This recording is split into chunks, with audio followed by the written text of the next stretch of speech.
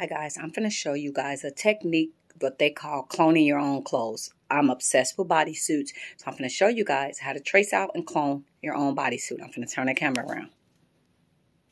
So you see this? See I got this bodysuit laying on this fabric? So I'm going to cut this out, and we're going to call this cloning your own clothes. So if you guys see, it's a zipper in the back of this bodysuit. But with the back of this bodysuit, I'm going to leave it open about that much and I'm going to fold it over and I'm going to do two ties. It's going to be no zipper. Let me um turn it around. And matter of fact, let me turn it around.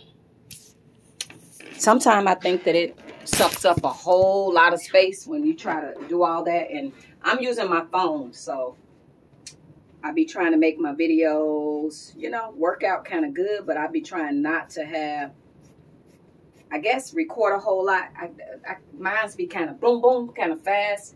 I got my laptop.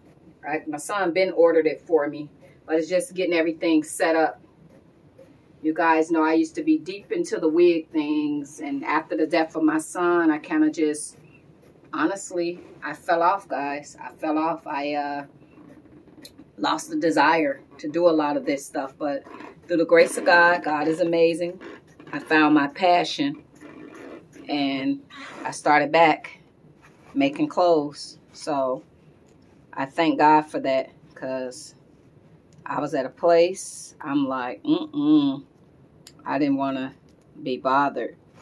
So thank God that I found my, as the people say, my happy space.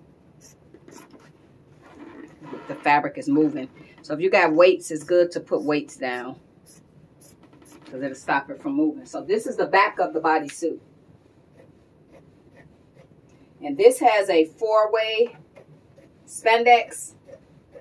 So remember when you're doing this bodysuit, what you're doing is the back where it's zip at, we're not going to use a zipper.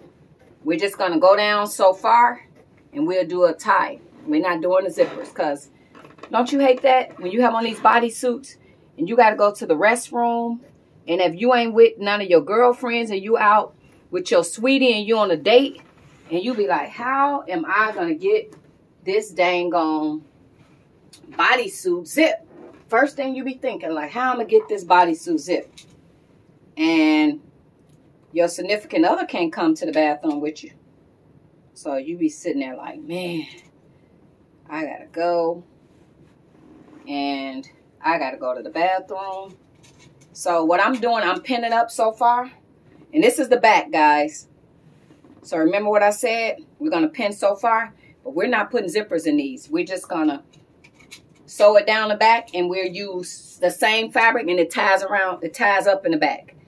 So. This the back. So you see how much of an opening?